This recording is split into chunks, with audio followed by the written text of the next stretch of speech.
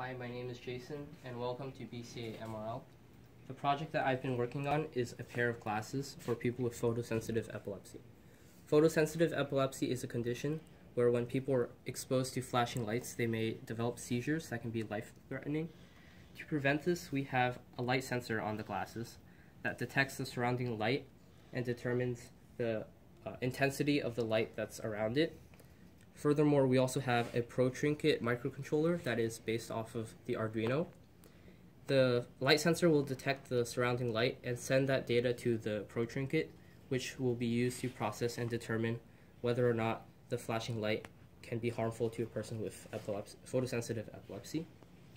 Um, if the light detected is harmful, then it will darken the glass on the glasses to protect the wearer's eyes from um, like the harmful pattern of light. So now I will provide a demonstration of this happening. As you can see right now, the normal, the conditions of the light is pretty normal and therefore there is no reason for the glasses to darken. And you can see the piece of white paper behind the glasses. But if you shine a flashing light, you'll see that the glass immediately darkens and that prevents the user's eyes from being exposed to that flashing light and therefore prevents them from having seizures.